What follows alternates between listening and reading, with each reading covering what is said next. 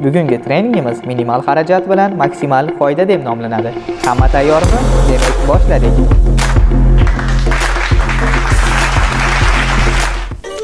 Alisher Navoiy aytganidek, befoyda so'zni ko'p aytma, foydali so'zni eshitishdan qaytma.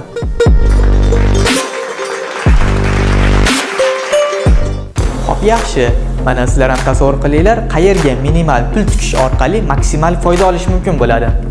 Tasavvur qilinglar, siz Domstroyda bo'layotgan omadli xaridor va omadli usta aksiyasida qatnashib, ushbu maishiy texnikalardan birini yutib olish imkonini qo'lga kiritasiz yoki umra safari uchun ikkita yo'llanmadan birini ham aynan qo'lga kiritish imkoni mavjud yoki bosh sovrinimiz ikkita avtomobildan birini yutib olishingiz mumkin bo'ladi. Bu hali hammasi emas. Aksiya uyini ta'mirlayotgan xonadon egalari uchun ham, ustalar uchun ham amal qiladi.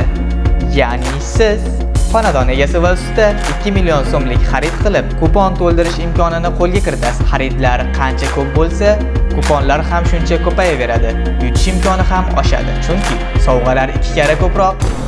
Aksiya Domstroyning barcha filiallarida amal qiladi. Dekabr oyida esa g'olibni aniqlaymiz.